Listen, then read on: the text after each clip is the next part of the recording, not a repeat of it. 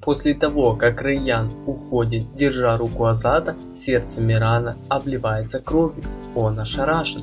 Несмотря ни на что, Миран понимает Райян, ее обиду и разочарование. Миран осознает, что сам теперь сгорает на огне, который зажег своими же руками. Миран наводит оружие на Хазана, желая отомстить за все пережитое, но не стреляет. Хазар возвращается в особняк он говорит Райян, что человек, чьи глаза несколько наполнены ненавистью, никогда не сможет смотреть на другого с любовью. Райян решает покинуть особняк.